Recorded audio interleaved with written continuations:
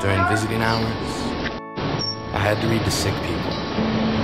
The kind of people who had no one. It was my punishment. Catholic school community service for farting on a nun's muffin. It was an accident, I swear to God. And every day would start the same way. She'd say, how you doing? I'd say, I'm doing all right. She'd say, I'm doing just fine. Point in fact, the cancer had taken both of her breasts. I imagine wherever cancerous breasts get thrown, two of them mourn their lost body. She could laugh. She had a laugh like a welcome mat. Or the same kind of smile Curious George would wear if he finally came out of the closet to be with the man in the big yellow hat. She'd touch where they used to be and say, you know, it's probably good that they're gone. My ex-husband used to go about them all wrong. She said half the time the only reason my nipples were erect was because they were trying to jump off my body to run away from his tongue. I was 13 years young thinking to myself, oh my god, you're awesome. For me, it was all about visiting hours. Hadn't read to her in days. She was too busy teaching how to watch horror movies and laugh. Because all the monsters Hollywood can think up just aren't as scary as letting yourself be talked into believing you can be only half what you are. Should put a hand on each star and say, if you really want to get scared, watch the news. It's a steeplechase.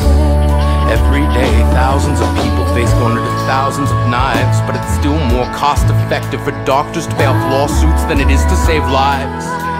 So don't try walking a mile in my shoes, just wear my pajamas dreams instead. Because this isn't a deathbed. Should say I'm not gonna give up today. I'm not gonna lay here and take it. Because life is as elusive as getting an orgasm from my ex, so sometimes I just gotta fake it. So if anyone ever tells you you're not good enough, you're not smart enough, give up your foolish dream. If anyone ever tells you to quit, you gotta make them wear a diaper on their mouth because, man, they are just talking shit. And she'd smile and say, You gotta let your body be the rocking chair that soothes the tired body of hope. Let your arms be the rope around the neck of self loathing. Let your skin be the clothing that keeps compassion warm in the cold streets of regret. She says, Don't pray for me yet. I said, No problem.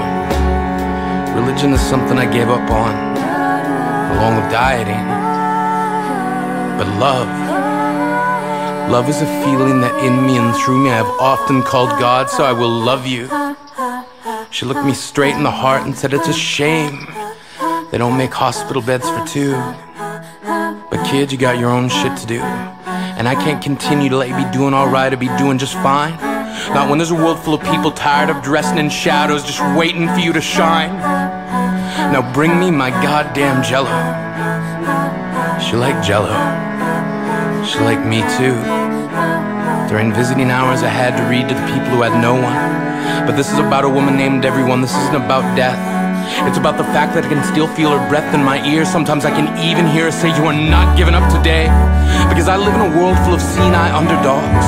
And I'm pretty sure we're all tired of wearing our choke chains. We're tired of being treated like walking canes in a world so blind no one can find each other.